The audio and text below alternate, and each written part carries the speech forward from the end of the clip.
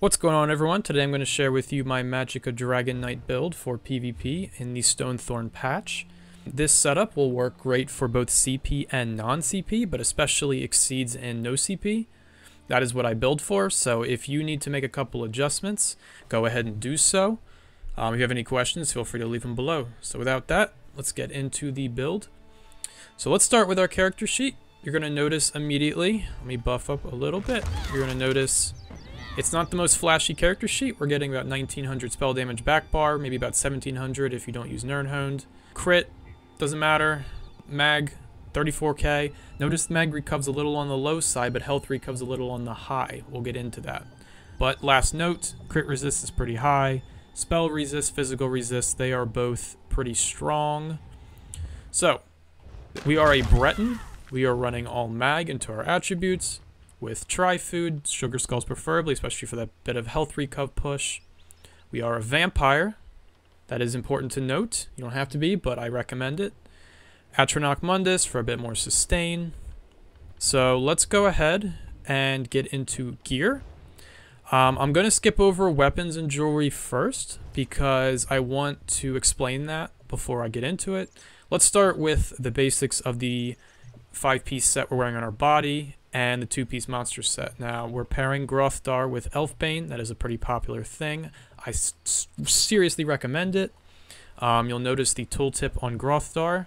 It is going to tick basically higher than any dot you have, especially in no CP. Because we're an Elfbane, it extends to 10 seconds from 5, so we can have almost 100% uptime with Grothdar thanks to the change of this patch that makes it active within melee range. It's not going to proc when you're in range. Um, aside from that 10% chance, you basically can have full uptime. It's pretty incredible. Um, we run Elfbane 5 piece, all in heavy. Note the heavy. This is a bit different. A lot of people like light and they'll think it's a bit different, but we are doing heavy. That is kind of where things have shifted with the Mag DK. Grothdar, medium light, so we're getting a 5-1-1 with 5 heavy. All impen. This is the way I prefer it. I adjust my CP accordingly. Notice I'm tri-stat on most of my pieces. In fact, I even do all of them. This is specifically for no CP. No CP, you have low stam, and you got to get your stam up a little bit, even with tri-food. If you're a CP regular, then I would say you can go mag on the small pieces, just get a little more damage, a little more healing.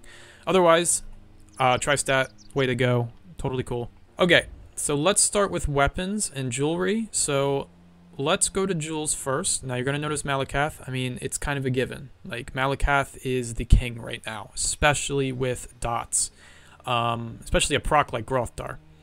So, if you don't want to run Malacath, we'll talk about what you can run instead of it, but I highly recommend it. Now, Malacath is a one piece, so it makes us have to adjust our build a little bit. We can't run two five pieces unless they're both one bards, so what we're going to do, and this is a little different than some people might do, but we're actually going to run two three-piece sets plus Malacath. So what we're going to do, we're going to notice, notice I'm running Endurance Neck, Ring of Ancient Grace, Malacath Ring. So what that will do is make it so you can have a three-piece set on your back bar, Endurance in this case, and front bar, you get Ancient Grace.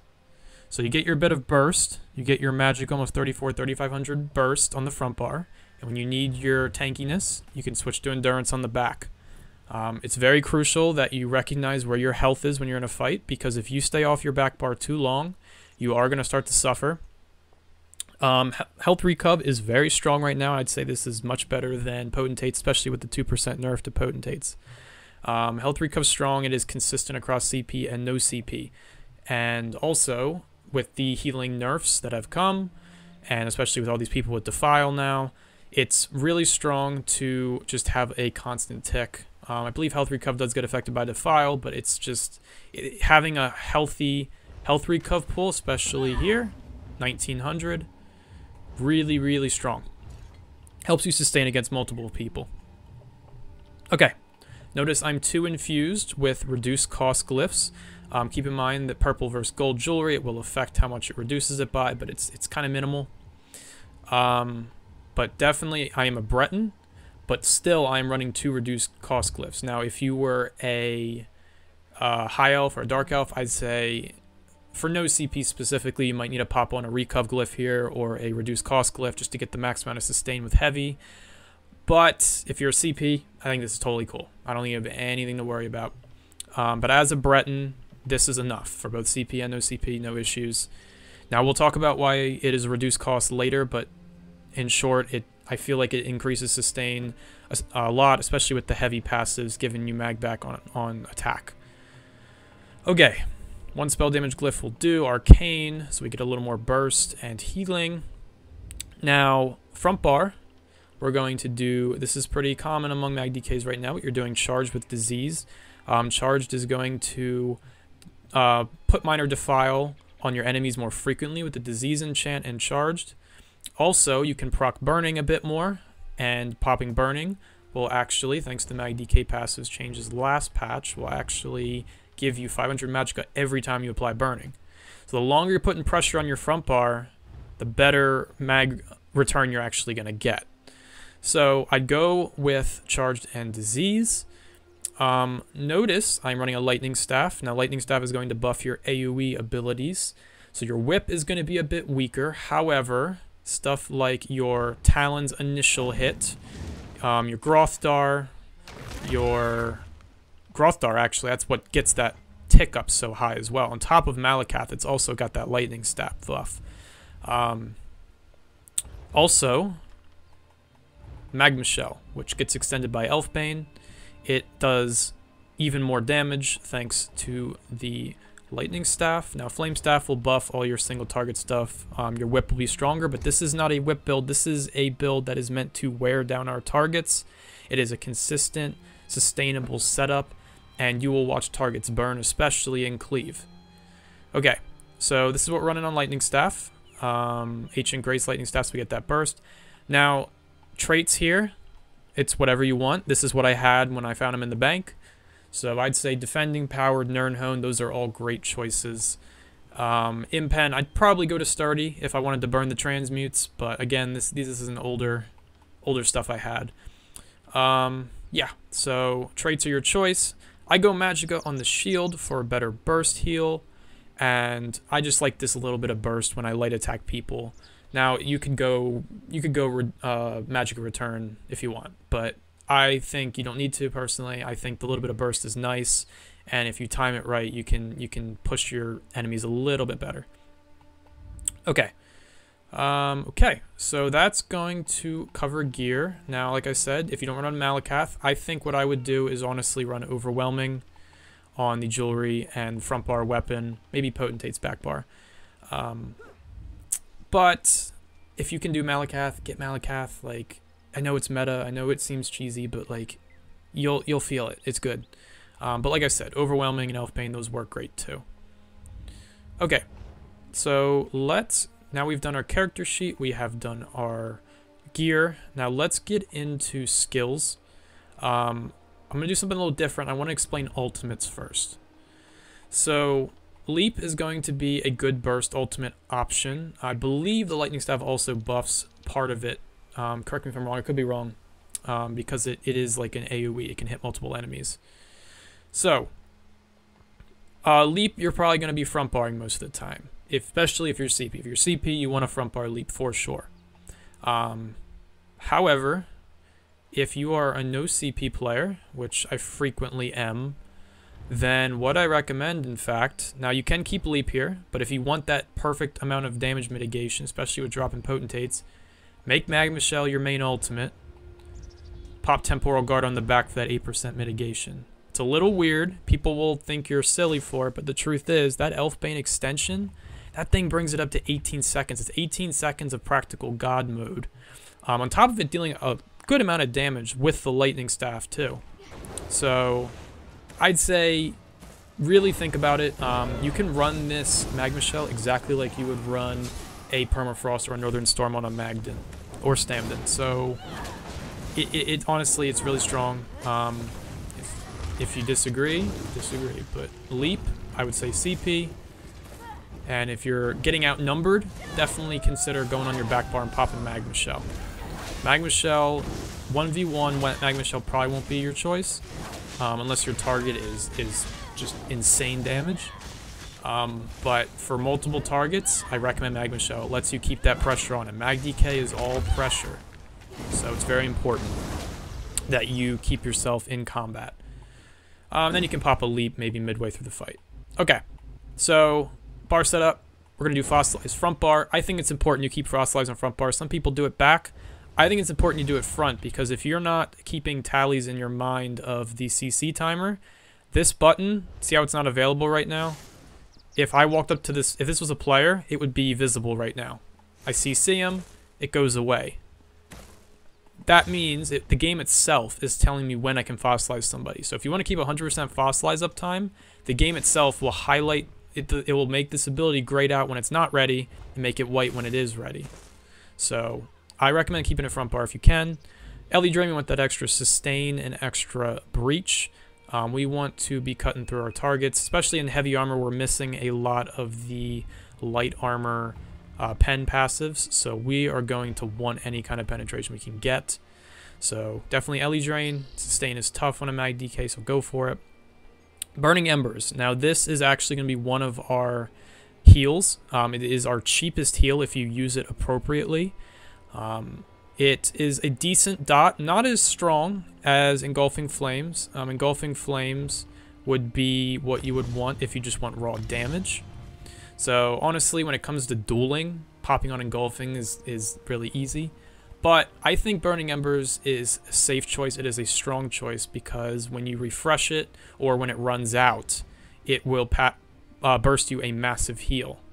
Especially with Elfbane. With Elfbane taking it for 19 seconds, like that heal is stupid. I mean, it's, it's over heal, if anything. Um, but a lot of times when you're in combat with multiple targets, pop Burning Embers on at least one of them. And then when you kill that target or when it expires, you get a huge heal and you can keep the pressure on. Again, if you don't like that, if you think that's over healing, go ahead with Engulfing and you get that 10% uh, fire buff as well. 8% in my case because I'm not buffed with my spell buff. Okay. So next up, it's going to be Whip. Now we're going to go with Flame Lash. Uh, Molten Whip, I don't really know how you can sustain in the current meta with uh, Molten Whip unless you're constantly healing. This allows you to hit off balance targets and just get a huge burst heal as well as doing more damage. Um, keep in mind that when you fossilize someone, whip, whip, you can do the animation, the heal. Um, one quick way to do an easy heal, pop a talons, and then hit your whip, because when you talons them, it also opens up the opportunity for the whip animation. So use this thing as if it is a heal as much as it is your spammable. So it might be your spammable, but if you need a quick heal, a quick talons and whip or fossilize and whip, really strong way to keep the pressure on and get healed. This is primarily why we are a pressure uh, character. We, we can heal ourselves just by keeping the pressure on. Okay, Burning Talons. This is one of our strongest abilities and one of the reasons we're running Elfbane to begin with. Um, you will... Is my, one of my Elfbane pieces off? No. Okay, good. Um, you'll notice that generally Burning Talons is going to be pretty short um, for those four seconds here. So it's really expensive for hitting every four seconds. However, it is the strongest dot that I know of at least. Correct me if I'm wrong. Um, it is the strongest dot and it can hit multiple targets. You don't have to look at them. Engulfing Flames, you got to blow it on someone and make sure you hit them. Talons, I can look this way and hit someone. On top of it, I lock down my targets and make it easier for any any teammates around to get them. Also, I'm forcing them to dodge roll or streak or whatever, so that's stopping pressure on me. Um, and I'm burning their stam on top of it. So aside from being one of the strongest dots, and it, they could be in the middle of a dodge roll and you could hit them and it puts the dot on them. It is, it is, in, it is honestly a god tier ability with Elfbane. You cannot go any other way. If you're gonna run Elfbane, if you're not running Talons with Elfbane, I feel like you might be missing out. Um, you can go without it, but I don't recommend it. Um, nine seconds, so this is what you're going to be refreshing often, but you're going to be refreshing it anyways because you want to get your heal out of it. So I recommend popping it somewhat frequently, keeping that up as much as possible. Uh, we already talked about ultimates. I have leap front bar there. A little bit of health recovery on the front bar too, and our passives. Okay, back bar. We're going to go with Coag. It is not the best heal in the game. Um, sometimes it's a bit, bit of a joke. Now, it did get buffed a bit this patch, but one thing it does provide for us is a recovery buff. So I think it's crucial that you keep this up if you're not running tri-pots or pots with fortitude. Um, that health recov goes a long way. We've already talked about that. Get up to almost 1900. Could probably push it even further. So, next up, we're going to have Cauterize. Again, not one of the best heals. Um, however, we don't have too many options when running Sword and Board, so I'd say this is the way to go. If you want to go rest, oh, you could do um, Rapid Regen in replacement of this, and it's a better heal. But I like the tankiness of the Sword and Board, and the fact I can block. So, Coag and Cauterize, these are more just over time heals. Sometimes I'll hit a Talons, a Whip, and then go hit a Coag, full health.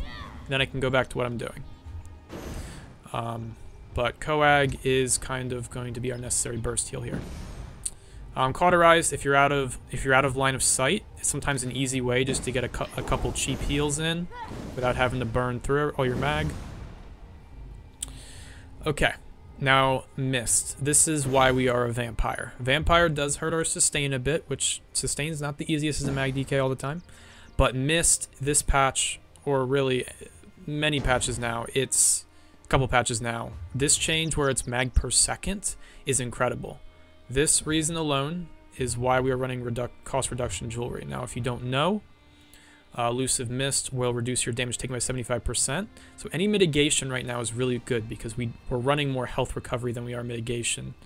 Um, you get your movement speed increase. So if you're CC'd, this is our, our snare and CC remo snare removal. Um, and on top of being a snare removal, if you need it, you can use it to get away from multiple targets. If you're in the open, you can kind of get out of the way. Use your environment a bit. Now watch, watch my mag pull here. See the rate at which it's going down? Now I'm in heavy armor. So if I was getting attacked while I was in mist form, for Constitution, I'm also getting mag back. So you can't recover Magicka while you're in mist form, which is a downside. But it's so cheap, and you're getting mag back from Constitution and 5 heavy, that it kind of your sustain is insane. Like I'm not even joking when you can sustain in this for four to five minutes straight if you can out heal it. Um, that being said, I think Mist is the is going to be your clear choice. Now you could you could run your wings, your dragon wings, to reduce projectile damage and remove snare. I was running this last patch, but yeah, I just I, I, after switching to Vamp Mist, I think is the way to go. Um, when you run cost reduction jewelry, which we are running infused, keep in mind, that is reducing the cost per second by a ton. So it's really, really cool. We can reduce it to about three to 400 mag. You can push it even a little bit further if you wanted to, especially if you're not a Breton. Um, so yeah, I'd say this is the way to go. This is going to be your best chance at taking on multiple targets, and especially if someone drops a meteor on your Colossus, whatever, use the cheese ultimate, just wait it out. You got no rush here. Maybe pop out, do a little buff, back in mist. Keep in mind you can block to get out of it. If you if you fall from too great a height and you roll, it will take you out of it, so don't fall from too high of heights. But you'll learn how to use this. It's really effective. Okay, Degen, this is just our spell buff. It's a nice little dot, but truthfully, we're mainly using it for the spell damage of time. Um, if you're running spell pots, go ahead and pop Engulfing Flames on. That would do you there. Volatile Armor. Some people run Harden for the damage shield. I don't think we need it. I think just that little bit of extra damage ticking. Just adding just another dot onto this, this uh, dot storm that we're providing. Um, tips it over just a little extra. Pretty cheap. Um, I recommend this more specifically for revealing night blades if you don't run detect pots. Hit this around them, takes them out of stealth, keeps pressure on them. Talons also does that. If you're near someone and they're invisible, you can take them out. Okay. So what I will say next is, again, you can put Psijic Ulti here, but Magma Shell is what I have. This is what I recommend for no CP. So this is your CP, no CP setup if you are looking to even 1vx, 1v1, it doesn't matter. Um, you are ticking away your targets, and you're ticking away multiple targets with the cleave from Grothdar, the cleave from Talons, um, the cleave from essentially most of your abilities here. I mean, hell, if you pop Magma Shell, you're dealing damage to your enemies a ton. I mean, you pop Magma Shell and sit in Mist, and you're taking next to nothing. So, um, yeah, that's this is how I'm running it. I think it's extremely strong. Um, we'll finish up here with CP. Um, let us take a quick look. Let's go into green. I run 56 Warlord, one sprint uh, Siphoner just to make it purgeable. Move another dot. 56 Arcanist. Um, we don't really need too much on the heavy. Sustain's pretty good overall. If you need a heavy, you can do it with your lightning staff and it won't miss. That's the benefit of a lightning staff over a flame. Um, extra health recovery just to stack a bit more. Put 19 into healthy. Uh, 33 into befoul just for that uh, minor defile on our staff. If you don't want to do that, go ahead and pop it into tumbling or shadow ward. I have 48 tumbling, 57 shadow ward. These numbers work for me. Um, blue CP, we're going into 64 elemental expert, 64 spell pen, uh, 64 spell erosion. I mean, keep in mind we're in heavy, so we're not getting those passives from the uh, light armor. So it's incredible, incredibly important to have more pen. Um, in fact, because we're not doing crit damage, I have this here for the extra crit healing, but if you want to pop these 11 into spell erosion, go for it. 56 Master at Arms, we're not too direct damage based, but this is just to push your whip a little bit further among a couple other abilities um, and some dots. And speaking of dots, 75 Thaumaturge, this will really push your targets down. 61 Ironclad, 37 Resistant, um, this is because I wear all Impen. Uh, 48 Thick Skinned, 49 Hardy, 43 Ellie Defender, 32 Quick Recovery, 56 Warlord. Oh, we're already on the back on the first tree. So there we go. Um, yeah, I guess any final notes I would say were mostly clear. Now I will, I will show you that I run the vampire for the mist, but you will remember that because of vamp, you are going to get a bit of a cost increase and flame damage. Now it's only 5% and 3% to ability cost. Um, really, there's not much to, to say on it. I mean, honestly, this extra movement speed is cool for stealth, but in terms of vampire, if you want vampire versus mortal, I'd say vampire's the way, but if you want to do mortal, run the wings. Um, I'd say that about covers it. Um, if you have any questions, please do go ahead and ask. I am happy to share. MagDK is my main character, and I love this thing and update it every patch. So I this is what works for me. Again, no CP, CP, 1VX, whatever it might be. So thank you very much for watching, and I hope to see you soon.